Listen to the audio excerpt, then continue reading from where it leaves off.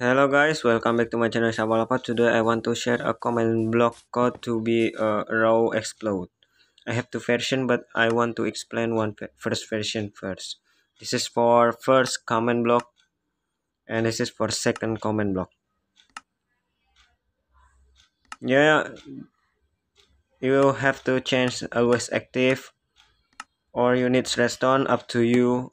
I use need redstone and this for third second block.